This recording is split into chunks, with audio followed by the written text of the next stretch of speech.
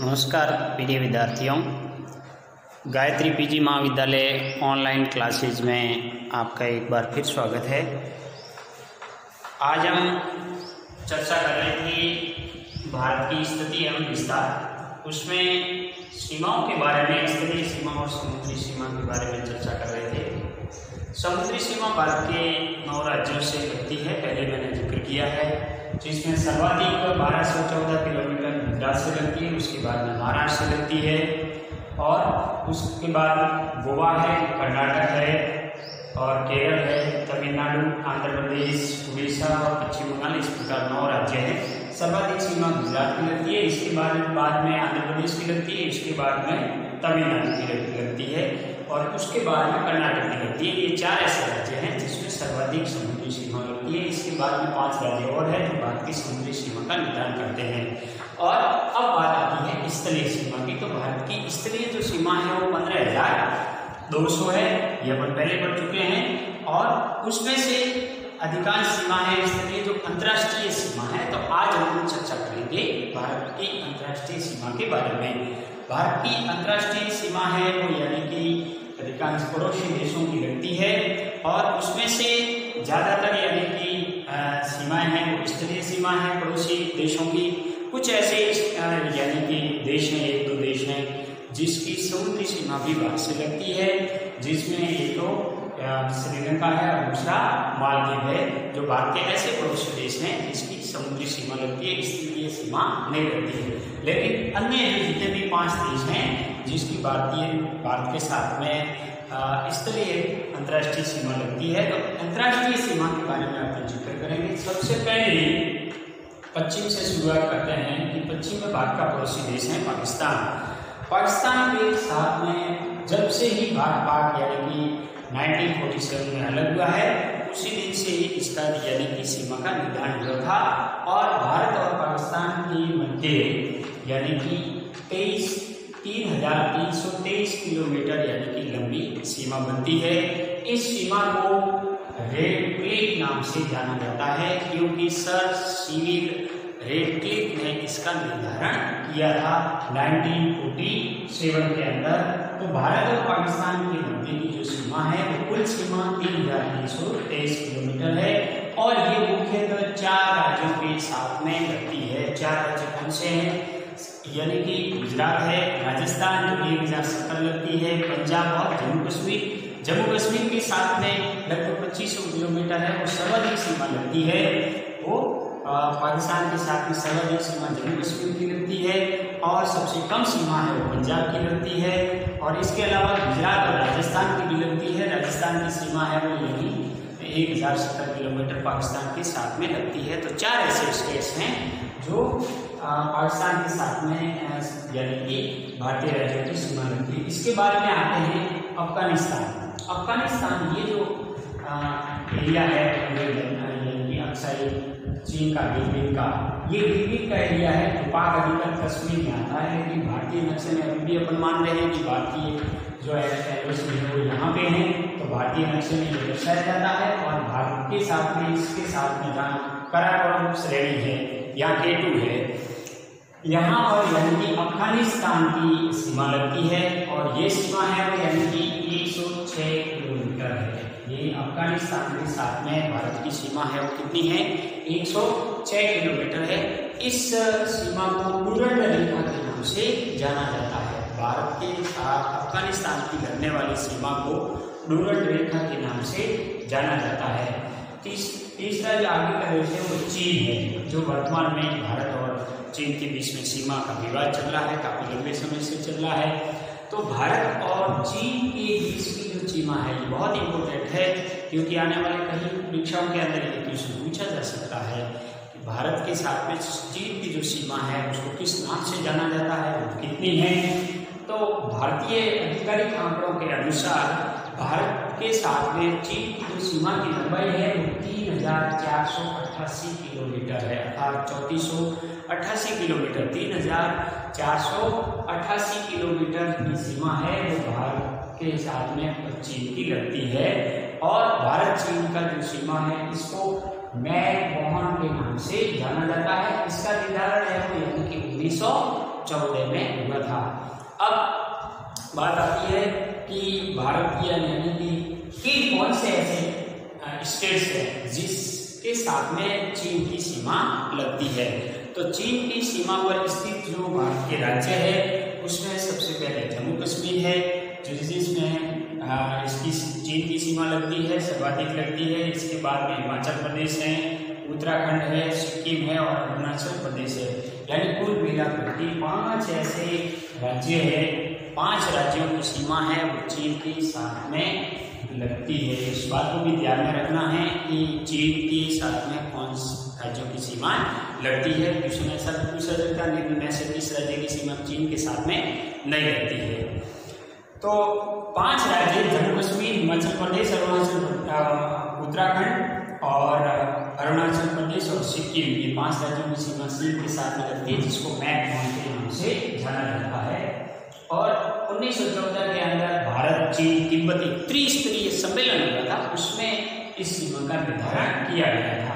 और अभी भी भारत और चीन चीन के साथ में सीमा विवाद है चल रहा है। अब दूसरा देश है जो नेपाल है भारत का पड़ोसी देश है, वो स्तरीय रूप से घिरा हुआ है। तो ये नेपाल है। नेपाल के साथ में भारत की कुल सीमा की लंबाई है वो सत्रह सौ इक्यावन है। सत्रह सौ इक्यावन। नेपाल के साथ में भारत की स्तरीय सीमा है वो यानी कि अंतर्राष्ट्रीय सीमा है, वो सत्रह सौ इक्यावन है। और ये पूरा यानी कि प्रति हिमालय और मध्य हिमालय में आता है।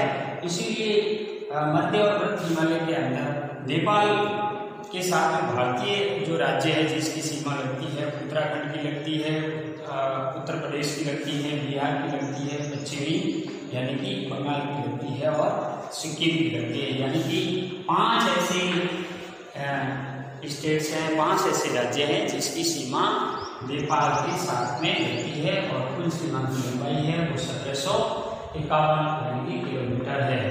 इसके बाद के अंदर भारत का जो पड़ोसी देश है, नेपाल के पास में एक छोटा सा देश है, भूटान।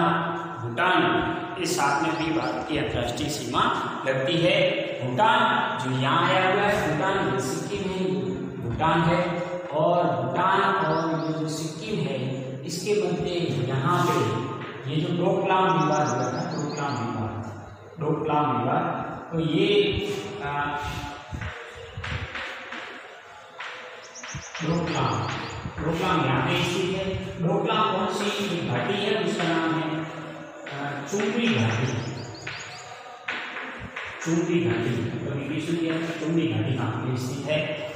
तो चुम्बी घाटी में यानी कि ये जो चुंबी घाटी है, जहाँ भारत और भूटान और चीन के मध्य एक विवाद है तो इस प्रकार भूटान की जो सीमा है, जो भारत के साथ में लगती है, वो टोटल कितनी है छः सौ निन्यानवे किलोमीटर, लगभग सात सौ किलोमीटर भूटान के साथ में भारत की सीमा लगती है। भूटान के साथ में सीमा लगती है छः सौ निन्यानवे किलोमीटर है, और ये भूटान में कौन कौन से स्टेट्स हैं जो भूटान के साथ में सीमा पे स्थित है। भूटान के साथ में सीमा में लगने वाले जो स्टेट्स है, भारत के, वो सिक्किम है, सिक्किम की लगती है, असम की लगती है, अरुणाचल प्रदेश की लगती है और पश्चिमी बंगाल की लगती है, यानी चार स्टेट्स है।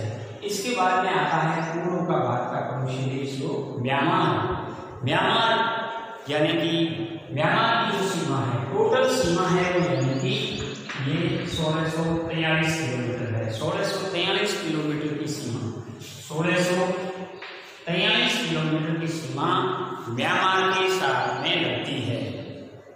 और म्यांमार के साथ में ये पूरा यानी कि पूर्व की पहाड़ियाँ हैं, वो यहाँ पे स्थित है। और अराकान योमा जो पहाड़ी है, जिसका अवशेष अपन अंडमान निकोबार द्वीप समूह में भी है तो ये अराकान योमा जो पहाड़ी है, म्यांमार है। इन पहाड़ियों के बीच ये भारतीय और म्यांमार के बीच में सीमा बंटवारा करती है। तो सोलह सौ तैयलीस किलोमीटर भारत और म्यांमार के बीच की कुल सीमा है, राष्ट्रीय सीमा है।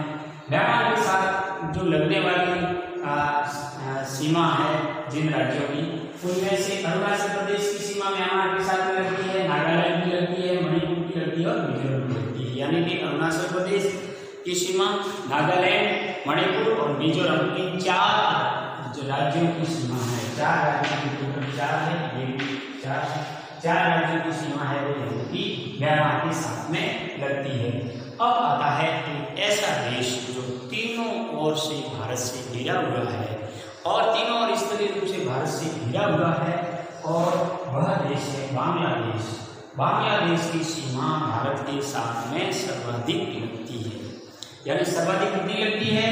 सर्वाधिक बांग्लादेश के साथ में भारत की जो सीमा है वो सर्वाधिक लगती है चार हज़ार सौ किलोमीटर।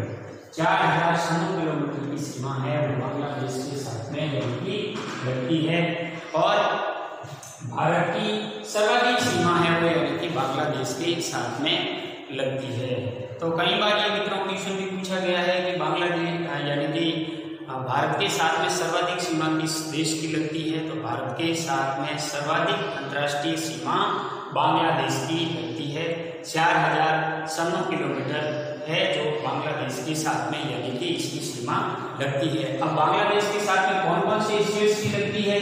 देखो, बांग्लादेश के साथ में मिजोरम की लगती है, त्रिपुरा की लगती है, इसके साथ में यहाँ यानी कि मेघालय है, मेघालय की भी लगती है, और असम की भी लगती है, और पश्चिमी बंगाल की भी लगती है। तो ऐसे यानी कि स्टेट्स है, पाँच स्टेट्स है, जिसकी सीमा बांग्लादेश के साथ में लगती है। मिजोरम की लगती है त्रिपुरा की लगती है, मेघालय की भी लगती है और असम की भी लगती है और पश्चिमी बंगाल की भी लगती है।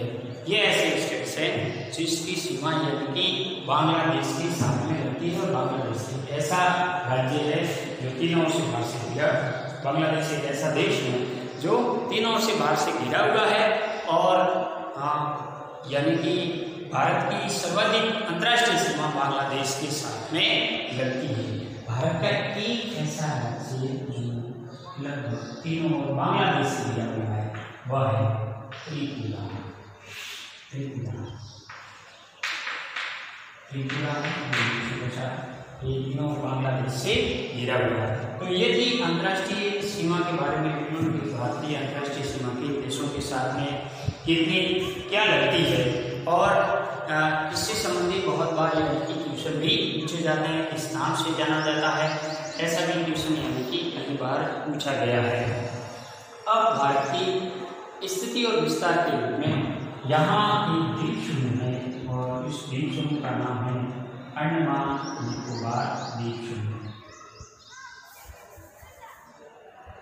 अंडमान निकोबार अंडमान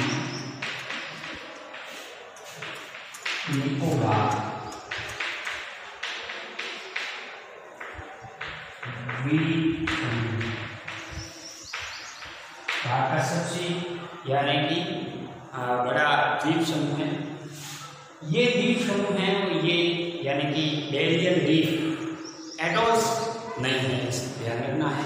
अंडमान निकोबार द्वीप किसके अवशेष है।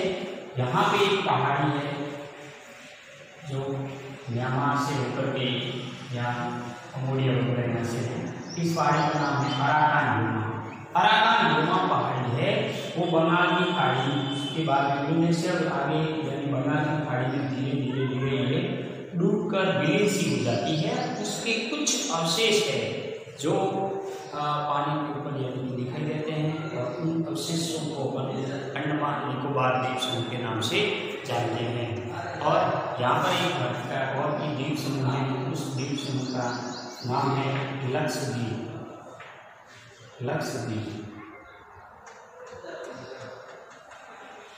लक्ष्य ये लक्षद्वीप है? और यहाँ भारत का एक पड़ोसी देश है, उसका नाम है मालदीव मालदीव जो भारत का एक पड़ोसी देश है, उसके साथ में स्थलीय सीमा नहीं लगती, लेकिन जलीय सीमा लगती है। तो यहाँ पे द्वीप समूह है, जो अरब सागर के अंदर है लक्षद्वीप लक्षद्वीप एक एटोस के उदाहरण है बेरियन द्वीप के उदाहरण है। और ऐसा माना जाता है कि लक्षद्वीप का निर्माण है वो बेरियन द्वीप से एटोल से प्रवाह भीति के अवशेषों से हुआ है। इसलिए एटोल्स का उदाहरण है और ये अराकान व्योमा पहाड़ी के अवशेष हैं। अंडमान, निकोबार द्वीप समूह अंडमान और निकोबार द्वीप समूह को बांटने वाली जो रेखा है, उसको अपन दस डिग्री चैनल के नाम से जाना जाता है, जो यानी कि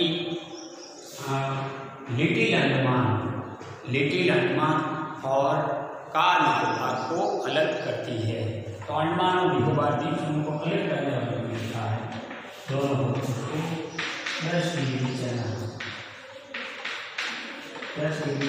इसको क्या करता है? अलग करता है। तो अब अपन और भी इसके बारे में, अपन भारत का भौतिक स्वरूप को पढ़ेंगे, भौतिक प्रदेश पढ़ेंगे, उसके बारे में विस्तृत अध्ययनों का कौन सा प्रदेश क्या कंडीशन है और ये स्थिति और विस्तार के बारे में चर्चा की।